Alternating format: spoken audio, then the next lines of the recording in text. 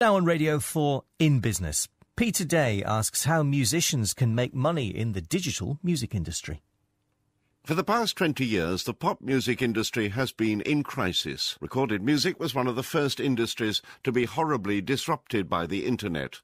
Sales of compact discs plummeted, battered by piracy and new ways of listening to music. This disruption continues. But there are now signs that after years of huge uncertainty, the record industry is learning to live with it, and so perhaps are the artists and bands who provide the music. That evolving process of perhaps mutual understanding is what this programme is all about. Think about the Holy Roman Empire and the order and the control and the understanding and the history that went with that. When the internet came along and it hit the music industry, it changed everything. Jeremy Silver is a music industry veteran. He's the author of the book Digital Medieval The Last 20 Years of the Music Industry and the Next 20. We're in the dark ages still of where all this is going to go and, where it's going to take us. And I think the challenges and the level of disruption that the traditional businesses have had is immense. And it, it, resulted in people forgetting actually the ways of the past and not knowing what the new rules were. And we're in that period now when we're all trying to work out what the new rules are, but there isn't one rule, there are lots and lots of different ones right now.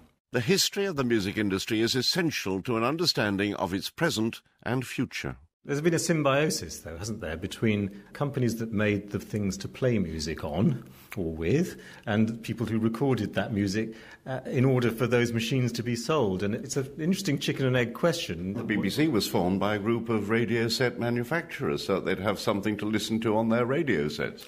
There's not much point in having a record player if you don't have any records to play.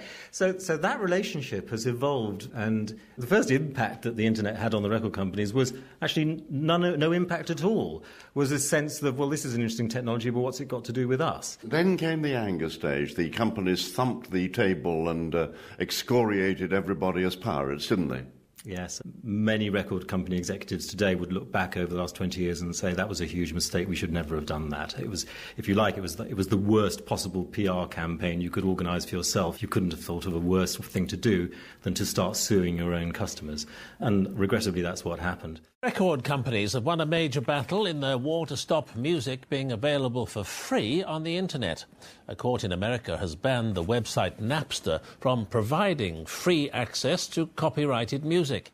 Well, enter a genius. Steve Jobs came up not just with Apple, but also with iTunes. Uh, extraordinary movement because that then got the industry back on side of something connected with the internet, didn't it? And this was licensed and, and paid for and um, okay by them. Yes. If you look back at that period, Philips used to own the company that was called Polygram, which is now Universal Music. And in 1998, I think it was, Philips decided to dispense with the sound recording part of its organization.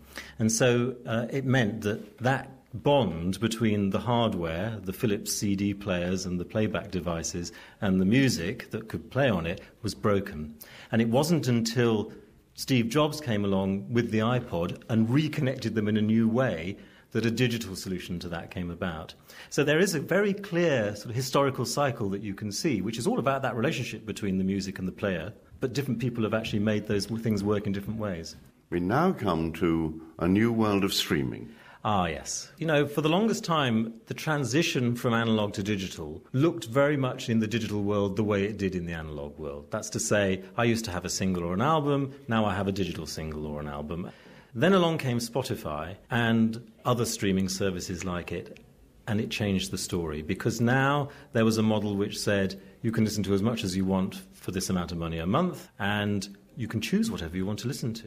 Caught up in these paroxysms of change are the musicians who make the music and who want to go on making.